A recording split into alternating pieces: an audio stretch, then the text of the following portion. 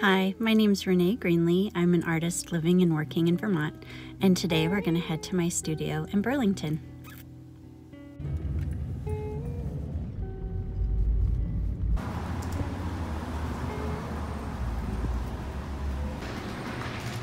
This is the Karma Birdhouse. It has a number of different studios and businesses located within the building.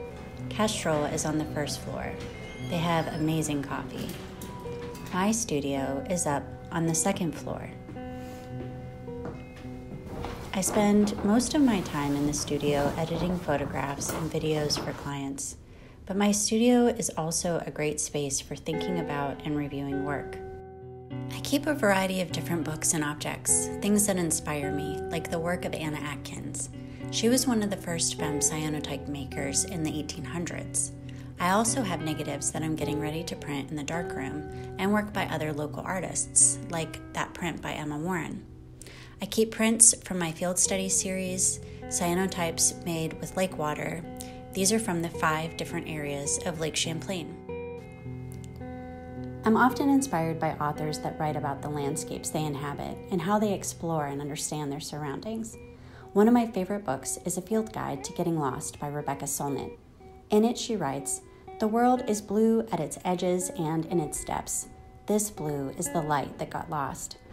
I see my work as finding the light, the light scattered in water, as Solnit writes, manifesting itself on the surface of silk or paper through the cyanotype process.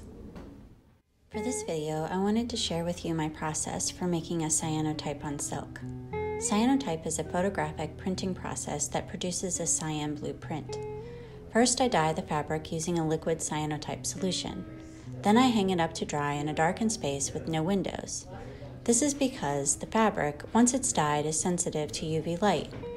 Once the piece is dry, I take it to the water's edge to expose, using the lake water and organic material as compositional elements. Here we are in St. Albans. It was one of the hottest days of the summer, and there was evidence of cyanobacteria in the water. When I completed the piece, I brought it back to the studio to dry.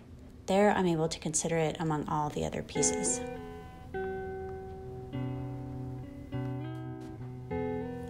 My goal with this project is to fill a room with silk panels so that folks could walk through the room, feeling the softness of the material and the movement of the pieces, imagining themselves at the water's edge.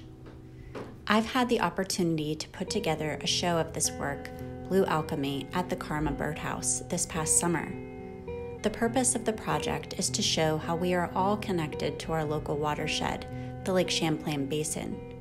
Whether it is a stream, a river, a pond, all of our water flows to the lake in some way. The act of making is an act of reciprocity. As I consider the landscape in its state of constant change, I am fascinated by the cyanotypes and how they change throughout their exposure. It is always remarkable to me how the landscape itself comes through in the final piece.